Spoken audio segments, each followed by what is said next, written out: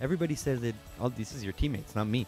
That you're the you're the joker on the team. On top of being the leader of this team technically and on on the court, in the locker room, you're doing the atmosphere.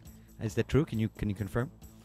You know, if the guys are uh, saying that, I, never, I don't like to talk about myself, what I'm doing, you know, behind the closed doors of uh, our locker room or uh, hotel. But uh, yes, it's true. I'm, uh, I love always, you know, the positive, good atmosphere.